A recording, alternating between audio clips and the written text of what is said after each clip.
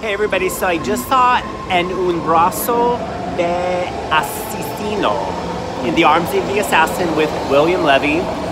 Um, it was very gory and interesting, and he is too hot for words. So definitely check it out just for him.